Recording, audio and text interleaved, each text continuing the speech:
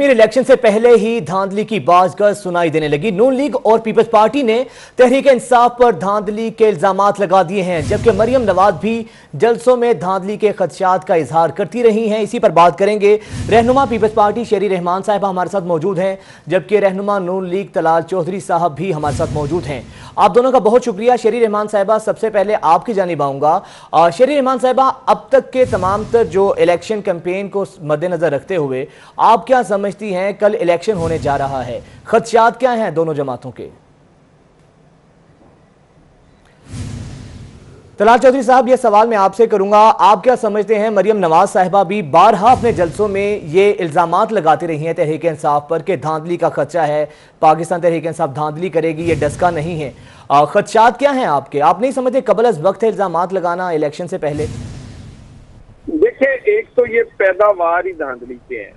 और जो पैदावार धांधली की हो उसे पता है कि अवाम में उसकी कोई जड़ें नहीं है। कभी पोलिंग एजेंटों को बाहर निकाल कर कभी फॉर्म फोर्टी फाइव कभी आरटीएस सिस्टम बंद करके, मगर उसके बावजूद अल्लाह की मेहरबानी से इस वक्त जो कश्मीर में माहौल है, हम बड़े आराम से ये इलेक्शन जीत जाएँगे कल।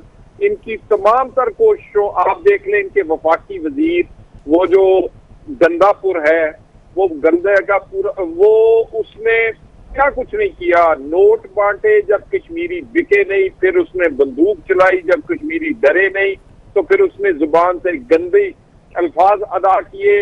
वो इसी तरह और बाकी जो वफाकी वजीरों ने और वफाकी हुकूमत ने जो इकदाम किए हैं, मगर उसके बावजूद कश्मीरी बिल्कुल इस बात पर इस वक्त खड़े हैं और कश्मीरी जान चुके हैं हम इनकी तमाम कोशिशों के बावजूद इलेक्शन कल जीतने जा रहे हैं। इन ताला मियाँ नवाज़ शरीफ का शेर कश्मीर में कल धाड़ेगा। लेकिन तलाल चौधरी साहब अभी शेख जीत साहब भी प्रेस कॉन्फ्रेंस कर रहे थे। उन्होंने तो ऐलान कर दिया है कि आज शाम को लाल हवेली के बाहर जश्न होगा। हमारा सदर भी तहरीक इंसाफ का होगा वहाँ पे वजी आज़म भी तहरीक इंसाफ का होगा। देखिए शेख रशीद जो है जो अपने कहता है मैं कश्मीरी खून है उसमें, उसका खून चेक कराएँ, कश्मीरी नहीं है, वो बेजमीरी खून है उसमें। और अगर लाल हवेली से ऐलान हो जाने हैं पहले तो फिर इसका मतलब है हमारी बातें सच्ची है। अवाम का वोट तो कश्मीर में पड़ना है, और लाल हवेली में उसका ऐलान होगा। लाल हवेली में ये सारा, ये देखिए ना, ये एक इंप्रेशन देने की कोशिश कर रहे हैं। इंशाल्लाह ताला लाल हवेली में रात को, कल रात को मातम होगा। क्योंकि जो इनके करतूत है, इन्होंने कश्मीर को सूबा बनाने की कोशिश की है, कश्मीर को मोदी की झोली में डालने की कोशिश की है, और ये वही काम कर रहे हैं जो मोदी चाह रहा है। तो कश्मीरी जो है, वो कम अज कम बिकने वाले या झुकने वाले नहीं है। वो अपनी जगह खड़े हैं। हम बिल्कुल पुर उम्मीद है। मैं खुद आज़ाद कश्मीर हूँ। इन ताला इलेक्शन हम जीतने जा रहे हैं। लेकिन तलाल चौधरी साहब, माजी का तो ये तजुर्बा रहा है कि जौन सी हुकूमत विफाक में होती है, आज़ाद कश्मीर में भी उसी की हुकूमत होती है। तो आप अगर ऑप्टिमिस्टिक होकर देखा जाए तो आप इस बारे में कितने पुर उम्मीद हैं कि इस दफ़ा ये रिवायत टूटेगी? अगर ये कैसे हो सकता है कि मरकज़ में पाकिस्तान तहरीक इंसाफ की गवर्नमेंट है तो आज़ाद कश्मीर में नून लीग की गवर्नमेंट होगी। लगता है आपको वाकई में ऐसा होगा? देखिए पहलिया हुकूमतें जो थी, उन्होंने कश्मीर को बेचा नहीं था।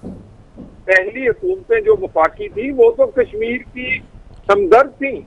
मगर ऐसी कश्मीर, पहली वफाकी हुकूमत पाकिस्तान में लाई गई है, जिसपे एजेंडे में शामिल है कि इस कश्मीर का सौदा करना है, इस कश्मीर को सूबा बनाना है, इस कश्मीर को मोदी की जोली में डालना है।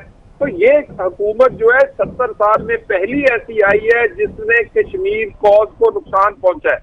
और कल इमरान खान ने ऐलान कर दिया कि भी वो यूएनओ की जो करारदादे है, मैं उसके अलावा कोई नया हल निकालूँगा।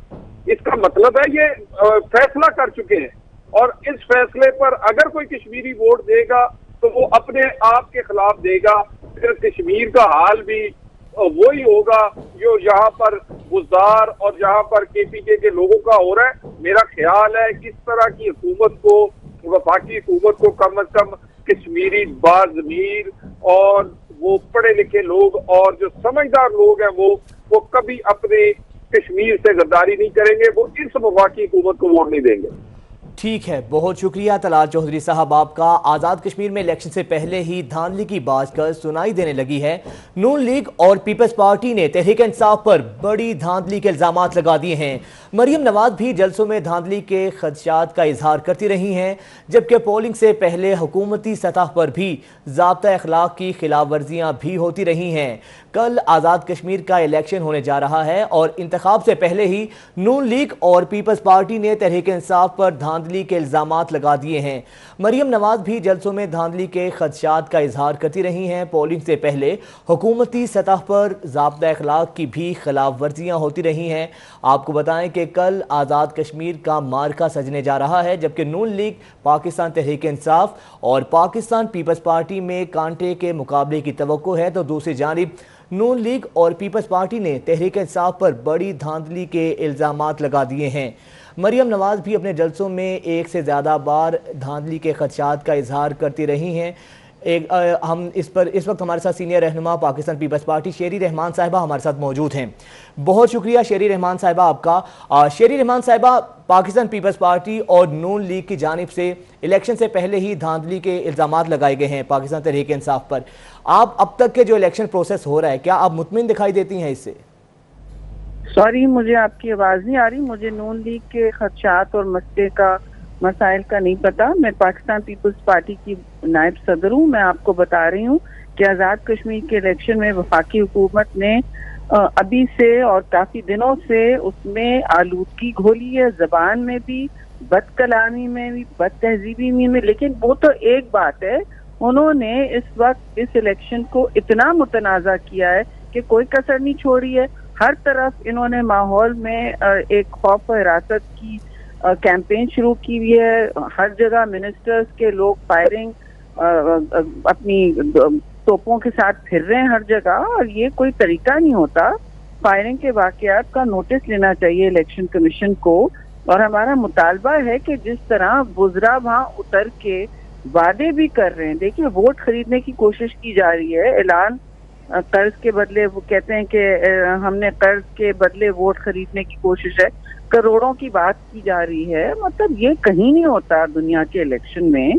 और इलेक्शन अहकाम के खुली साफ़ मतलब खिलाफ वर्जी हो रही है आम सहम तोहन होती नज़र आ रही है और कुछ किया नहीं जा रहा। हमारे तो हर लेवल पर वो आ, अब आ, हमारे कैंडिडेट्स को उनके साथ धांधली और तशद के इतने अब एग्जाम्पल्स हो गए। आज भी हम उम्मीदवार हैं शौकत जावेद शौकत जावेद मीर और इन्होंने तहरीक के कारकुनान इन पर तशद कर रहे हैं।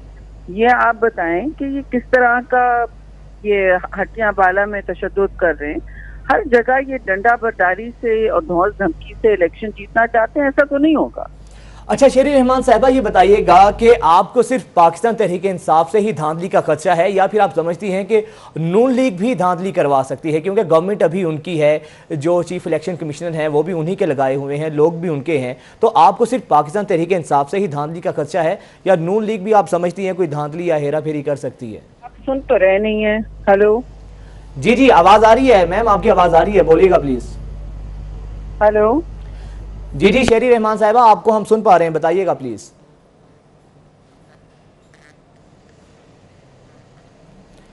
शेरी रहमान साहिबा से एक दफ़ा फिर से रबता करने की कोशिश करेंगे। आपको बताएँ कि कल आज़ाद कश्मीर का इलेक्शन होने जा रहा है, जबकि नून लीग और पीपल्स पार्टी ने ने तहरीक इंसाफ पर धांधली के इल्ज़ाम लगा दिए हैं। मरियम नवाज़ भी जलसों में धांधली के खदशात का इजहार करती रही हैं। पोलिंग से पहले हुकूमती सतह पर भी जबता अखलाक की खिलाफ वर्जियाँ होती रही हैं। कल आज़ाद कश्मीर का ये मार्का सजने जा रहा है। Pakistan peoples party, Noon league और तहरीक इंसाफ में कांटे के मुकाबले की तो है जबकि नून लीग और पीपल्स पार्टी ने तहरीक इंसाफ पर बड़ी धांधली के इल्ज़ाम लगा दिए हैं। मरियम नवाज़ भी जलसों में धांधली के खदशात का इजहार करती रही हैं। पोलिंग से पहले हुकूमती सतह पर जबत अखलाक की खिलाफ वर्जियाँ भी होती रही हैं। आपको बताएँ कि कल ये इलेक्शन होने जा रहा है आज़ाद कश्मीर का, जहाँ पर 28 लाख के करीब कश्मीरी अपना हक राय दही इस्तेमाल करेंगे। पाकिस्तान तहरीक इंसाफ, नून लीग और पाकिस्तान पीपल्स पार्टी में कांटे के मुकाबले की तो है। जबकि जो अपोजिशन की दो बड़ी जमातें हैं, नून लीग और पाकिस्तान पीपल्स पार्टी, इनकी जानब से धांधली के खदशात का इजहार किया गया है। मरीम नवाज़ भी बेशतर दफ़ा अपने जलसों में इस बात का इजहार करती रही हैं कि पाकिस्तान तहरीक इंसाफ आज़ाद कश्मीर में धांधली करवाने के लिए तैयार है, जबकि पोलिंग से पहले हुकूमती सतह पर जबता अखलाक की खिलाफ वर्जियाँ भी होती रही हैं।